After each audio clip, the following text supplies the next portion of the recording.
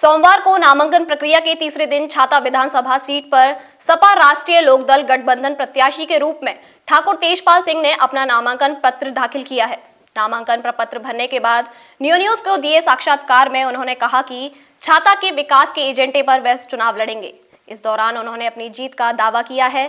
ठाकुर तेजपाल सिंह से सुनिए छाता क्षेत्र के विकास और 2022 के चुनाव को लेकर। उन्होंने क्या कहा? नामांकन प्रक्रिया का तीसरा दिन है। इस वक्त नामांकन प्रक्रिया चल रही है और हमारे साथ मौजूद हैं छाता विधानसभा से राष्ट्रीय लोकदल सपा गठबंधन के प्रत्याशी ठाकुर तेजपाल साहब। नामांकन अपना प्रपत्र दाखिल उन्होंने किया है। 2022 का चुनाव बहुत कई मायने में बहुत महत्वपूर्ण है। क्या कहेंगे और क्या उम्मीद है? देखिए, छाता क्षेत्र में अब चुनाव की जो आज पर्चे भरे गए जिस दिन से आचार संहिता लग गई है उसी दिन से छाता क्षेत्र की इमरजेंसी ख़त्म हो गई है।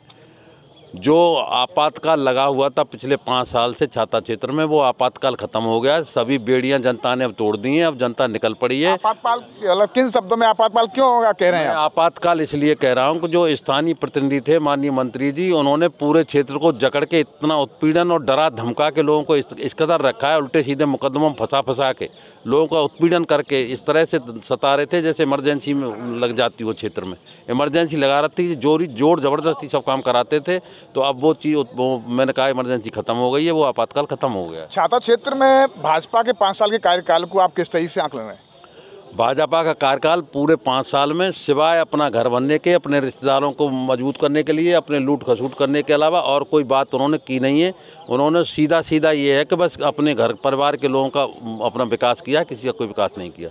छाता शुगर मिल को लेकर उन्होंने कहा है कि छाता शुगर मिल शुरू हो जाएगी। सरकार ने इस बात को जो है बजट भी प्रस्तावित कर दिया है। पाँच साल से कहाँ चले गए थे?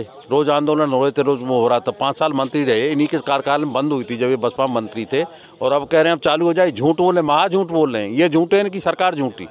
ये कि जितना काम योगी सरकार में हुआ है वो कभी नहीं हुआ योगी सरकार में कुछ काम ही नहीं हुआ। काम केवल ये हुआ है कि मंत्री जी अपने घर भरते रहें, अपने लोगों को चहेतों को घर भरवाते रहें।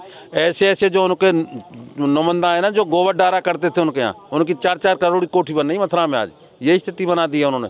पूरे क्षेत्र को इतना लूट के खा गए, पूरा लूट लिया पूरे क्षेत्र को। अब ये अंतिम समय है, अब उन्हें जाना है, तय है।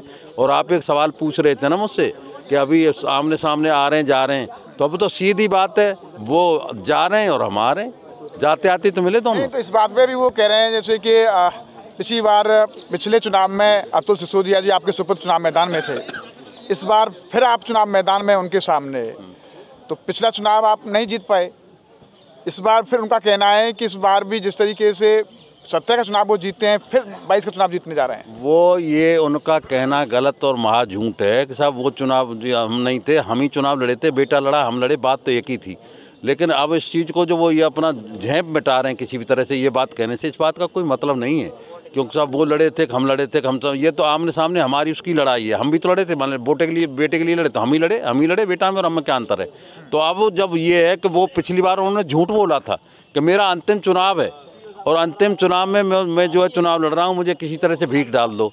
अब दोबारा अंतिम चुनाव, पिछले चुनाव को बनाने के बाद दोबारा मैदान में आ गए। इसीलिए हमें आना पड़ा है कि वो छोड़ने को तैयार नहीं है। तभी पार्टी ने ये फैसला लिया है कि अगर ये छोड़ने को तैयार नहीं है और ये चुनाव लड़ते हैं तो इनके सामने आपको ही लड़ना पड़ेगा। जब ये पूरा जाके उन्होंने वहाँ चुनौती दी है, उस चुनौती को हमने स्वीकार किया है, जनता के बल भरोसे। और जनता उस चुनौती का जवाब देगी इन्हें और भिजवा देगी अपने घर अब तो सिसोदिया जी, आप भी हम उनसे भी बात कर लेते हैं। सत्रह के चुनाव में आप मैदान में थे और बाईस में फिर आपने अपने पिताजी को मैदान में कर दिया है। बाईस के चुनाव को सत्रह के चुनाव में कितना आप आकलन कर रहे हैं? क्या उम्मीद है? उम्मीद पूरी सौ परसेंट है और सौ से ऊपर भी कुछ होता है तो वो परसेंट है। और जैसा कि अभी बताया कि पार्टी का ये निर्देश था और मैं साथ ही साथ में, क्योंकि हमारे जो राष्ट्रीय अध्यक्ष हैं, वो ये चाहते हैं कि हम लोग संगठन को और मज़बूत करें। तो चुनाव में पापा खड़े होंगे और लड़ेंगे और उसके बाद में संगठन के लिए मैं मजबूती से काम करूँगा। लेकिन लोगों में यह है कि सत्रह में आप लड़े, फिर बाईस में लक्ष्मी नारायण के सामने अपने पिताजी को आपने मैदान में उतार दिया। ये मैंने ये पार्टी का फैसला है और पार्टी के फैसले का मैं आदर इसलिए करता हूँ क्योंकि जो सामने लक्ष्मी नारायण जी हैं उन्होंने पिछली बार भी कहा कि ये मेरा आखिरी चुनाव है। तो पार्टी ये चाहती थी कि अब उनका आखिरी चुनाव पिछला तो नहीं रहा लेकिन अब की बार उनका ये आखिरी हंड्रेड परसेंट कर दिया जाए कि ताकि वो आगे लड़ने लायक ना रहे। उनको इतनी बुरी तरीके से बाईस को लेकर अपनी जीत को लेकर आप कितने आश्वस्त हैं?